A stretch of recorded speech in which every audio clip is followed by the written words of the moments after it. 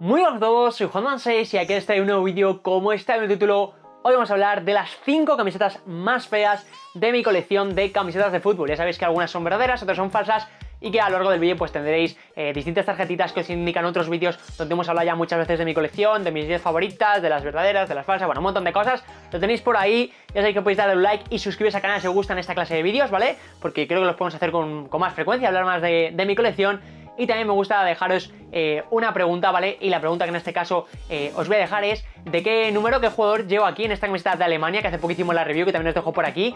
Pues decidme qué, nombre y número llevo, me lo dejéis en los comentarios y ahora sí más, comenzamos con el vídeo. Vale, decir que me ha costado muchísimo escoger las 5 camisetas más feas o que menos me gustan de mi colección. Me he basado en diseño, me he basado en lo que significan para mí, también en escudo no me he basado mucho en si están bien construidas o mal construidas, porque eso yo creo que podemos hacer un vídeo distinto, un vídeo en el que enseño las camisetas más falsas que tengo.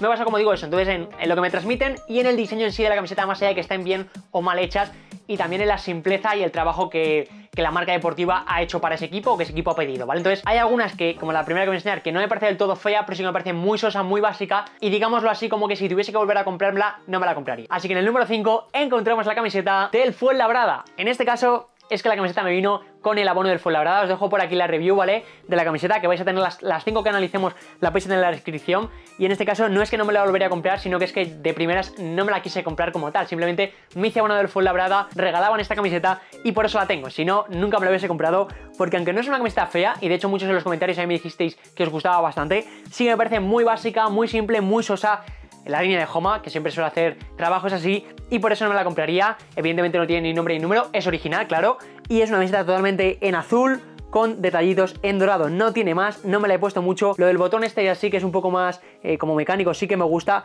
pero la camiseta en sí es bastante básica. Y es que no es que sea fea, porque a mí esta azul sí me gusta, pero es muy simple, muy aburrida. La publicidad creo que además queda mal, porque el azul tampoco queda bien. Entonces no sé, muy básica, no termina de ser fea, pero sí que es bastante aburrida. Pasamos ahora a la equipación del Manchester City. Mucha gente va a estar en desacuerdo conmigo, de hecho no sé si fue Pablo Laura que la metió en el top que más le gustaban, creo que era Laura, pero a mí personalmente no me gusta, me he cansado mucho esta camiseta, además de que, bueno, tiene una historia que me hizo que me costara más. Os dejo por aquí el vídeo para que la veáis y la escuchéis. Y es una camiseta que me compré básicamente porque el morado es mi color favorito y porque no tenía ninguna camiseta del City, pero me arrepiento bastante porque a nivel de material, que tampoco me quiero fijar mucho en eso, no es de las mejores, es muy robusta, es muy pesada, pero sobre todo a nivel de diseño, este morado a mí no me gusta, es demasiado oscuro, el template que utiliza Nike no me convence, esta raya en, en, naranja tampoco me gusta, me la compré sin nombre sin número porque saliera más, para que saliera más barata y sinceramente no me la volvería a comprar.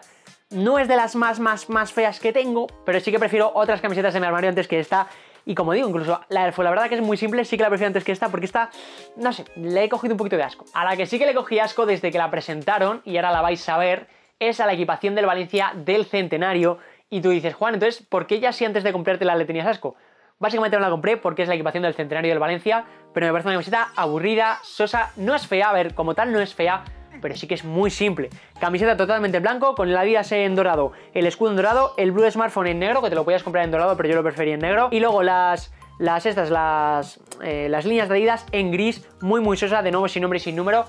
Luego aquí sí, aquí sí que tiene el escudito antiguo del Valencia, que bueno, le mete algo, tenéis por aquí la review, por cierto, y el Bean Sport en negro, pero ya está, o sea, es que no tiene nada más, por cierto, se está yendo el parche de Respect. A nivel de material encima es una camiseta que, que se nota que es falsa, o sea, es bastante mala. Entonces, se sumó todo, o sea, el diseño, el template, que además el Valencia cada vez me gusta menos, Adidas, que es que de verdad, porque hace las cosas tan aburridas y tan sosas, y esta camiseta tiene que estar en el número 3. Y estáis viendo que yo me quejo bastante de las camisetas que son sosas, que son aburridas, como la del Fuenlabrada, que al final es un color principal y ya está, la del Valencia, y en este caso en el segundo puesto encontramos la de Nigeria, que de verdad yo no sé por qué me compré, me dio el venazo, dije, no tengo ninguna camiseta verde, voy a comprarla, y me compré la segunda equipación de Nigeria, que es súper simple, este verde oscuro, y ya está. Ya esta es la camiseta. También tenía la review por aquí. Creo que además esta review no tuvo apenas apoyo porque es una camiseta tan simple que es que es una review que se hace en 3 minutos. Os la voy a hacer ahora. Bueno, en 3.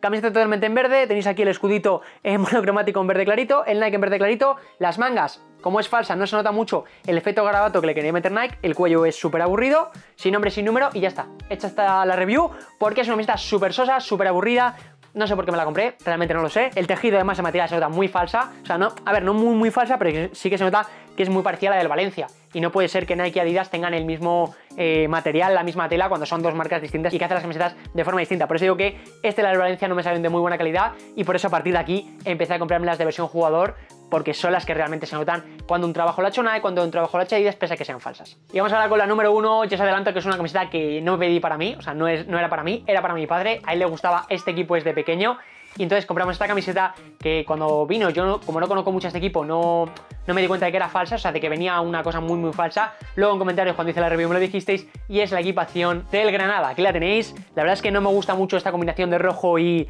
blanco, no me gusta esta distribución de las líneas demasiado grandes. Los tonos azules sí que me gustan, pero lo que mucho me decís además es que el escudo está fatal hecho, ¿vale? Con este reborde en blanco que no es así, se ve bastante endeble el material. Dentro de lo cabe tampoco está tan mal, o sea, podría estar peor.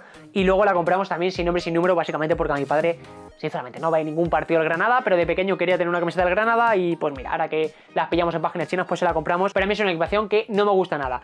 Lo único que me gusta de esta camiseta es que me gusta tener variedad en mi armario y algún día tener las camisetas de los 20 equipos de primera división. Pero más allá de eso, una camiseta muy, muy básica. Además, que como digo, el patrón este de las líneas tan grandes no me gusta. Y el escudo de Granada tampoco es que sea de mis favoritos. Y además se ve es falso. Entonces, bueno, pues se ha juntado aquí todo.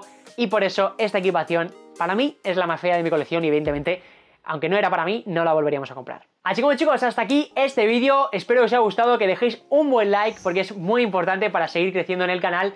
Y ahora me podéis decir vosotros cuáles son las camisetas más feas o las que menos os gustan o las que no volveréis a comprar por cualquier motivo de vuestra colección de camisetas o también de la mía. Me podéis decir, oye Juan, pues yo una vez te vi una camiseta del Eintracht de Frankfurt que a mí no me gusta nada. O te vi una camiseta, yo que sé, del Madrid que es muy básica, muy fea.